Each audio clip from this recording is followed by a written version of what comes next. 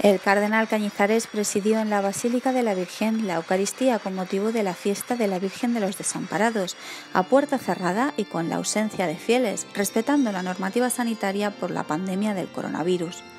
Una celebración excepcional en una jornada que amanecía con un escenario muy diferente al que cada año acoge las celebraciones en honor a la patrona.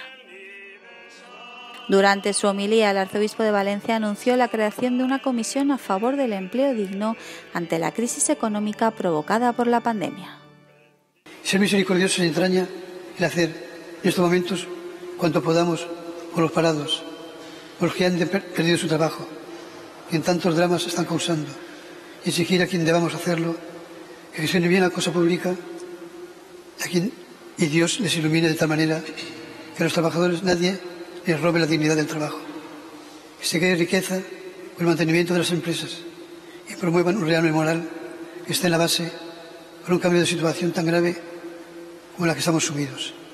Y que todos juntos, todos juntos, con lealtad, claridad, verdad y generosidad, colaboremos unidos en la medida de nuestras posibilidades.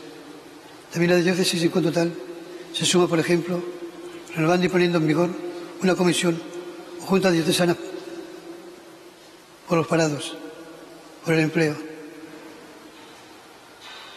Una comisión diocesana de cristianos comprometidos que verdaderamente luchan contra el paro de sus causas.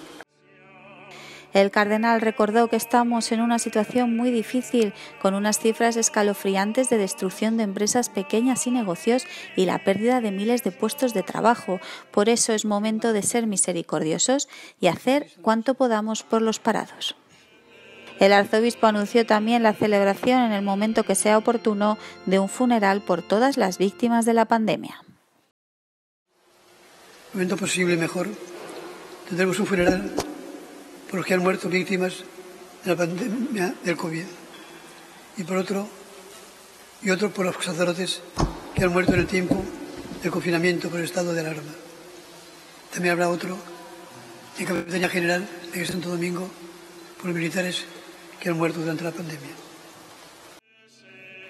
También señaló que cuando las circunstancias lo permitan se celebrará la procesión de Nuestra Señora de los Desamparados con el mare móvil. La imagen peregrina de la Virgen recorrerá las calles y plazas de Valencia y se parará ante los hospitales, las residencias y visitará el cementerio. La misa fue concelebrada por los obispos auxiliares de Valencia, Monseñor Javier Salinas y Vicente Juan Segura, y el arzobispo emérito de Zaragoza, el valenciano Monseñor Manuel Ureña, además de por miembros del Cabildo de la Catedral.